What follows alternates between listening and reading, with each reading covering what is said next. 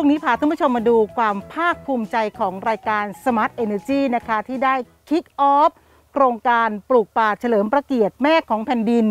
เมื่อ 12 สิงหาคม 2563 ที่ผ่านมานะคะ เราคิกออฟปลูกป่าที่สวนป่าสร้อยฟ้าอำเภอดอนเจดีจังหวัดสุพรรณบุรีค่ะ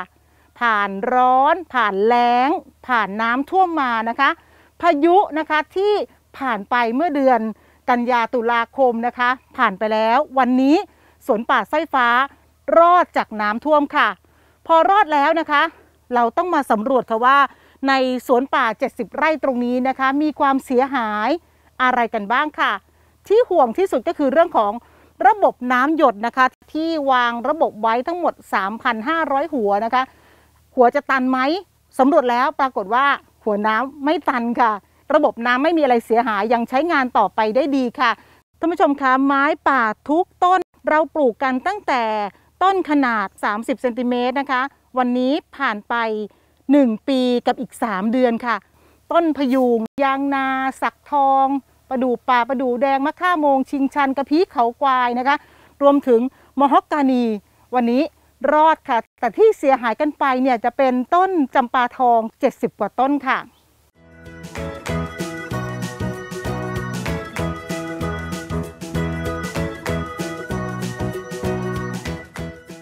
มคะการปลูกป่าที่สวนป่าสร้อยฟ้านะคะ เราปลูกกล้วยค่ะ เป็นพืชพี่เลี้ยงนะคะ ประกบกับต้นไม้ป่านะคะ ต้นต่อต้นเลยนะคะ ในแปลงวันแม่นะคะ เราปลูกกล้วยไปประมาณ 800 ต้นค่ะ กล้วยจะทำหน้าที่เป็นพี่เลี้ยง ให้ความชุ่มชื้น ให้ร่มเงานะคะ เพื่อให้ไม้ป่านั้นโตพุ่งนะคะ แข่งกับต้นกล้วยค่ะ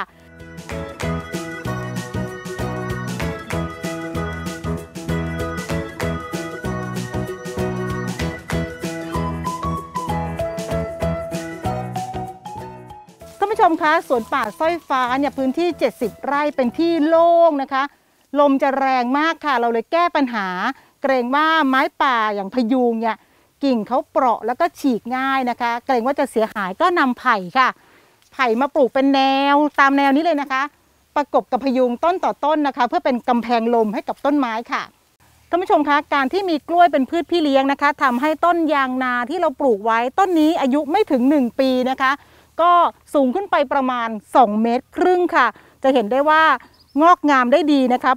โซนที่ปลูกไม้โตเร็วอย่างกระถินเทพานี่นะคะโอ้โห ต้องบอกว่า แค่ปีเดียวเนี่ยลำต้นเขาใหญ่มากนะคะ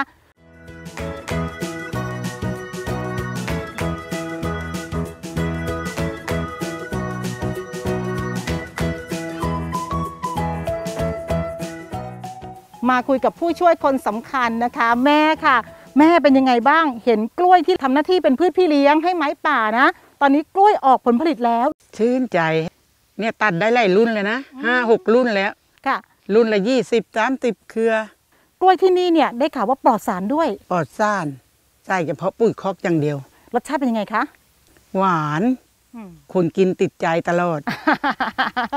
โอ้แม่แต่ว่าช่วงเวลาที่ลุ้นที่สุดเนี่ยคือ ช่วงพายุเข้าที่ผ่านมานี่เราที่บ้านนี่นอนไม่หลับกันเลยเป็นห่วงไม้ป่านะเป็นยังไงบ้าง ก็น้ำท่วมก็วิทย์กัน วิทย์จนสุดความสามารถแหละ คือวิทย์นี่คือสูบออกสูบออก ก็ก็อย่างไงก็ยังตายไปเยอะนะเนี่ยโซนจำปาทองอะตายไปหลายสิบเหมือนกันเนี่ยตายไปร่วม70ต้น เพราะว่าเขาถูกน้ำแช่ไว้นานนั่นเอง วันนี้เห็นไม้รอดแล้ว รู้สึกถ้ายังฝไงนหยุดก็รอดแล้วอืมก็เดี๋ยวก็เลือดทีนี้ก็เอามาเสริมใหม่ ใครเป็นคนปลูกยกมือขึ้น ป้าหน่อย คือป้าหน่อยกับแม่จะเป็นคนช่วยกันปลูกนะคะ ผู้ช่วยคนสำคัญทั้งสองคนที่สวนป่าสร้อยฟ้าแห่งนี้นะคะ ก็เป็นความภาคภูมิใจด้วยค่ะ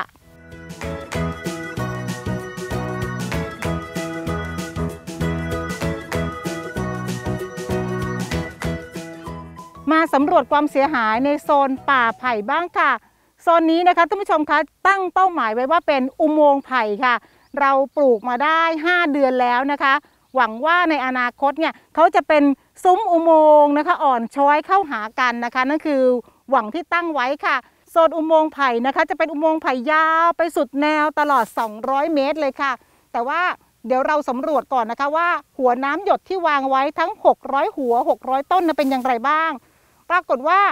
หัวน้ำหยดแบบสปริงเกิลนะคะ ยังทำงานได้ดีนะคะ ไม่อุดตันแต่อย่างใดค่ะ แต่ว่าปัญหาของแปลงป่าไผ่เนี่ยพื้นที่ตรงกลางตรงนู้นน่ะเป็นพื้นที่ลุ่ม เราจะมีการออกแบบใหม่นะคะ ดูว่าตรงไหนเป็นพื้นที่ลุ่ม ตรงนั้นก็จะมีการขุดบ่อให้เป็นการปรับภูมิทัศน์ที่สวยงามในป่าไผ่ค่ะ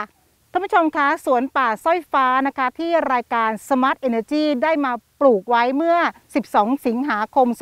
2563 นะคะ จะทำหน้าที่ในการเพิ่มออกซิเจนให้กับโลกใบนี้ค่ะ ปลูกป่าไว้นะคะ ทุกๆนาที โลกได้ออกซิเจนเพิ่มมากขึ้นค่ะ และทั้งหมดคือ Smart Energy กับดิฉันสร้อยฟ้าโอสุคนทิพย์นะคะท่านผู้ชมสามารถรับชมรายการย้อนหลังได้ทาง Facebook Fanpage นะคะ และทาง YouTube ค่ะ วันนี้หมดเวลาแล้ว สวัสดีค่ะ